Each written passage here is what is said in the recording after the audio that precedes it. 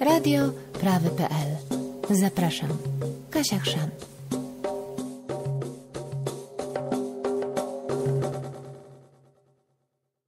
Dziś w Bydgoszczy, 28 marca, odbyło się seminarium naukowe na temat dylematy w sprawie in vitro, w którym brała udział m.in. pani profesor z Zakładu Genetyki Klinicznej Uniwersytetu Medycznego w Białymstoku, Alina Midro. Tak jak pokazała sprawa profesora Hazana i profesor, ostatnia ta sprawa Rebeki Kiznik nie wpuszczonej na Tak, uniwersytet, tak. czy pani ze swoją niezłomną postawą obrońcy życia ma również taki, czuje taki oddech na sobie? w Może tak, może tak, ale, ale staram się e, po prostu nie reagować, bo rozumiem, e, że moje argumenty e, to są argumenty naukowe, przynajmniej te, w które ja e, trafiłam.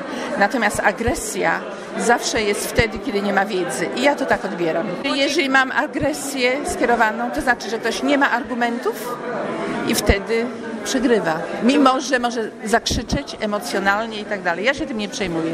Czyli młodzi ludzie, którzy pójdą taką drogą jak pani w swojej dziedzinie, mogą się spodziewać Tak, trudów. mam wielką satysfakcję, że doszłam do tego i że mnie nikt nie, nie zmiótł, przynajmniej do tej pory.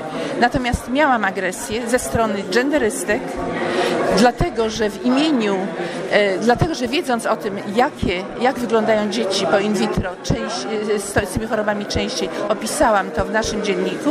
Potem w internecie ukazał się artykuł w siedmiu językach, i mnie nazwano y, twórczynią monstrum. Zebrano wszystkie cechy z czterech różnych zespołów, utworzono monstrum, ale to nie ja byłam. Ja chciałam tylko przestrzec rodziców, żeby znaleźli, y, spojrzeli na swoje dzieci, znaleźli ewentualnie takie cechy i żeby im moglo, można było w sposób fachowy pomóc. Bronić dzieci po in vitro, a nie ich y, dyskryminować. Nie, ja jestem za to, że każdemu dziecku pomóc.